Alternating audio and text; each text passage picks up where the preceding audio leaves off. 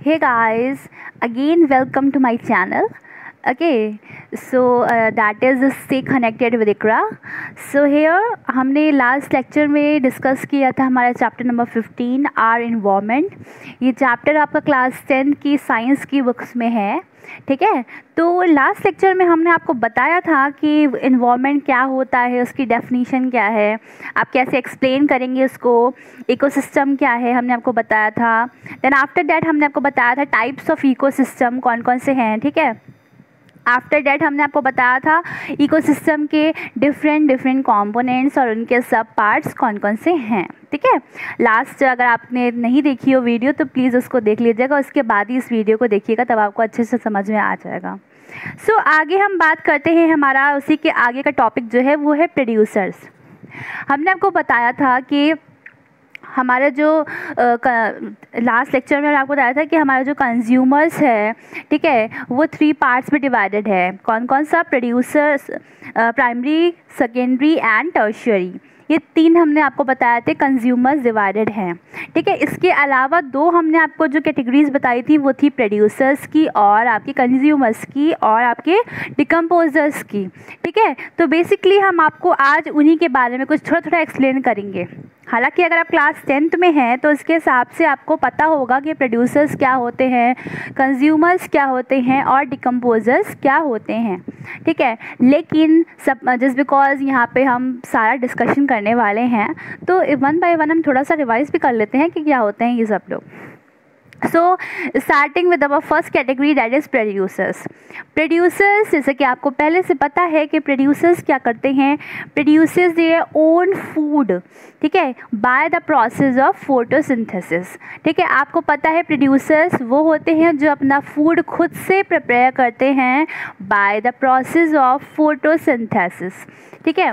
और फोटोसिंथेसिस की यहाँ पे मैंने आपको रिएक्शन भी दे रखी है। Six C O two plus six H two in the presence of sunlight and chlorophyll gives out C six H twelve O six that is आपका शुगर है। या आप इसको एक और नाम दे सकते हैं ग्लूकोज ठीक है?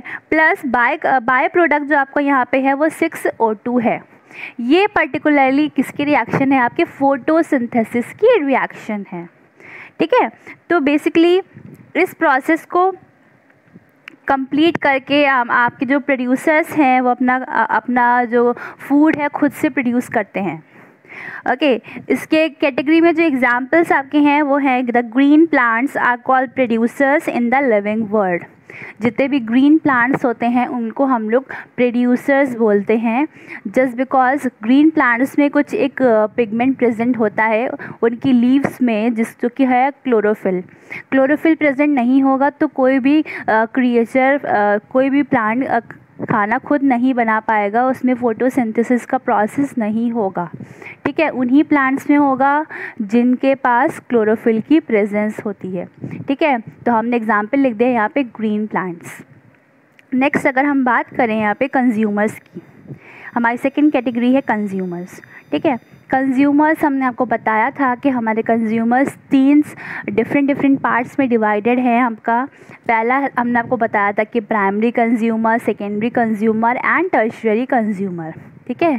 तो बेसिकली यहाँ पे इनके अदर नेम्स भी इसके साथ हम लोग इनको डिस्क्राइब करेंगे। तो पहला आपका कैटेगरी आ गई हर्बीवोर्स की, ठीक है? हर्बीवोर्स आपको पता है जो फीडिंग करते हैं प्लांट्स पे। और उनके प्रोडक्ट्स पे तो उनको हम लोग बोलेंगे हर्बीवोर्स बोलेंगे। ठीक है? तो बेसिकली यहाँ पे सेकंड कैटेगरी है हमारी कार्निवोर्स की। ठीक है? कार्निवोर्स आपको पता है कार्निवोर्स डिपेंड करते हैं अदर एनिमल्स पे eat other animals for their food ठीक है? ओमनीवोर्स ओमनीवर्स आपको पता है कि ओमनीवर्स कौन होते हैं जो प्लांट्स पे भी अपने खाने के लिए डिपेंड रहते हैं और एनिमल्स पे भी अपने खाने के लिए डिपेंड रहते हैं। तो ये तीन कैटेगरीज आपकी हो गई हैं कंज्यूमर्स की। लास्टली हम यहीं पर डिस्क्राइब करते हैं हमारा जो लास्ट है वो है डिकम्पोजर्स ठीक है? डिकम्पोजर्स आपको पता है जब प्लांट्स और एनिमल डाई हो जाते हैं मर जाते हैं तो उनका जो वो बहुत ज़्यादा मतलब आप कह सकते हो कि हाँ तो when plants and animal die they become food for decomposers ठीक है? लाइक बैक्टीरिया एंड फंजाई तो डिकम्पोजर्स uh, कौन होते हैं? उनकी कैटेगरी में आपकी बैक्टीरिया आते हैं फंजाई आते हैं वो किस पे फीडिंग करते हैं?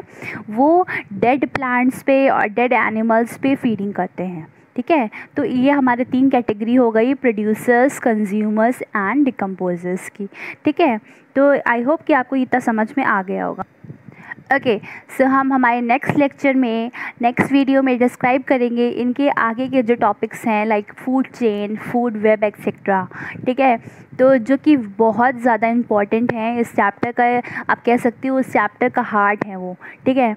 तो बेसिकली आगे की वीडियोस भी देख लीजिएगा और तब आपको ये चैप्टर एंडिंग पे है, ये चैप्टर एक्सप्लेन कम्प्लीटली हो जाएगा तो इससे आपका पूरा एक चैप्टर बोर्ड का एक्सप्लेन हो जाएगा और आपको उसके नोट्स भी मिल जाएँगे.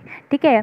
तो basically I am going to wind up my video so I hope कि आपको ये वीडियो पसंद आई होगी।